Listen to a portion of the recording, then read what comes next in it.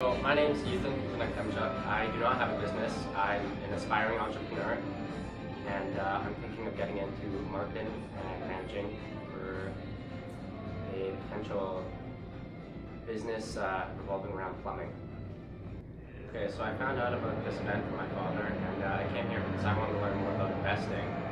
And uh, what I've learned about investing is that um, even with the hundred dollars, as long as you're you're taking the time to invest, it's better than um, not investing at all. The man with the, man who invests hundred dollars uh, a month makes more than the man who earns hundred thousand dollars a year but invests nothing. Hey, I'm speaking to you watching this. If uh, if you're looking to invest or you own a business yourself, um, you better come check this out because uh,